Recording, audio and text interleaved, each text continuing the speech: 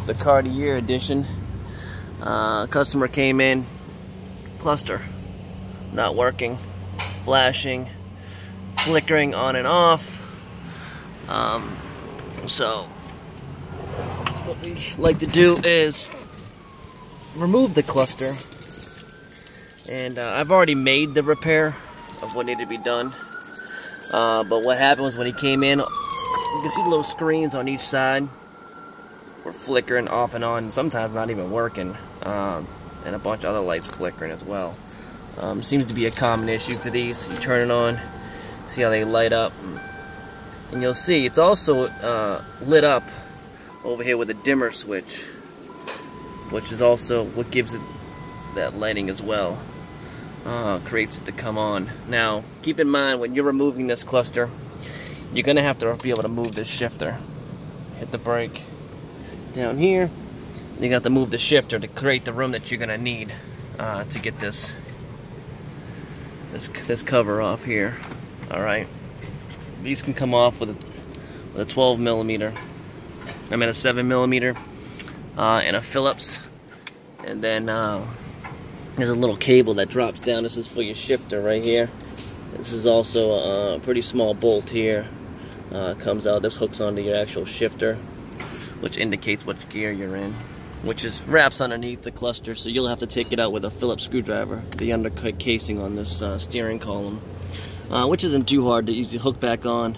Um, just be careful you don't crack it. Now this one came in with previous damage, which I documented, um, but it's pretty simple.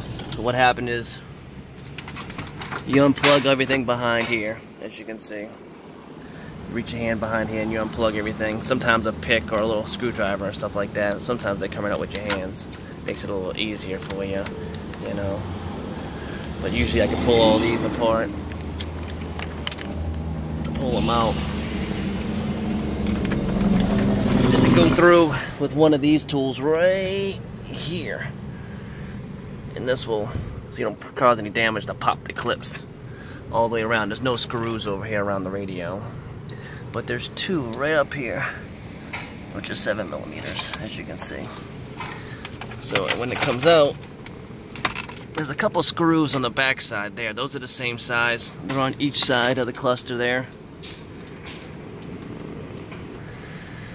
And as you can see, once you get these screws out on each side of this cluster, and make sure you chock the wheels too.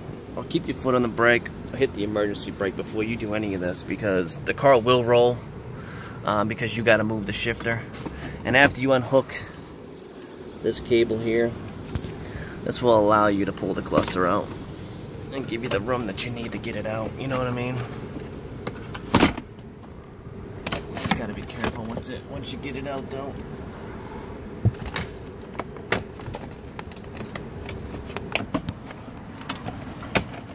There we go. There's that. This will flip. You see these plugs right here? Those plugs right there. You want to pull those out. And you want to make sure that the connections are good. Because also, too, the wiring will rub a hole in it on the back side here, which will create a bad connection for you. So make sure you inspect all those wirings. And what I like to do is take the back casing off. And I'm going to show you here in a second of how that works.